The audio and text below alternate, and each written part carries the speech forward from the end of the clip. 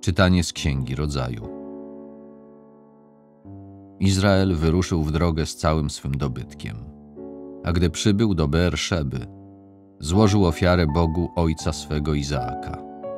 Bóg zaś w widzeniu nocnym tak odezwał się do Izraela: Jakubie, Jakubie. A gdy on odpowiedział: Oto jestem, rzekł do niego: Ja jestem Bogiem, Bogiem twego ojca. Idź bez obawy do Egiptu, gdyż uczynię cię tam wielkim narodem. Ja pójdę tam z tobą i ja stamtąd cię wyprowadzę, a Józef zamknie ci oczy. Po czym Jakub wyruszył z Berszeby. Synowie Izraela umieścili ojca swego Jakuba, swoje dzieci i żony na wozach, które faraon przysłał dla przewiezienia ich. Zabrali też swe trzody i swój dobytek, który nabyli w Kanaanie. Tak przybył do Egiptu Jakub, a z nim całe jego potomstwo. Wziął z sobą do Egiptu synów, wnuków, córki i wnuczki, całe swe potomstwo.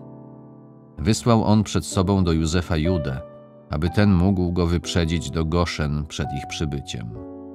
A gdy przybyli do ziemi Goszen, Józef kazał zaprząc do swego wozu i wyjechał na spotkanie Izraela, ojca swego, do Goszen. Kiedy zobaczył go, rzucił mu się na szyję i długo płakał na jego szyi. Wreszcie Izrael odezwał się do Józefa: Teraz mogę już umrzeć, skoro zobaczyłem cię jeszcze przy życiu.